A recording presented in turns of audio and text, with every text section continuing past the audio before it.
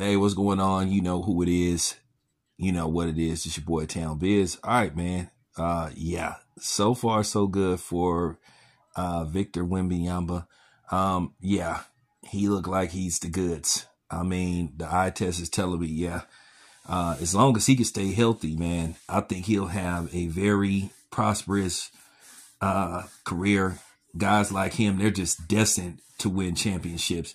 And he's there to fill in the void that Tim Duncan left. You know, at the end of the day, Tim Duncan couldn't play forever.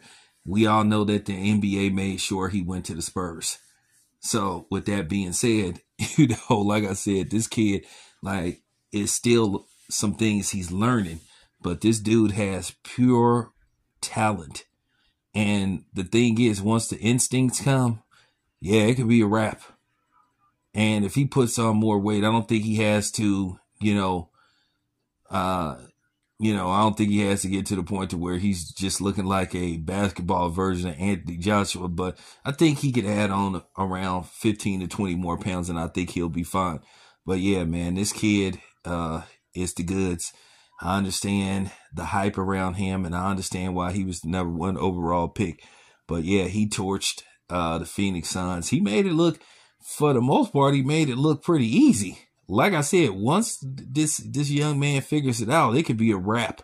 Like I said, the only thing that's stopping him is his health, and that's pretty much it. But yeah, so far so good with uh, you know, Big Vic. Eventually, they're gonna have to come up with a nickname for him. You know, they already had the big ticket with, you know, Kevin Garnett, but they gotta come up with a nickname for him.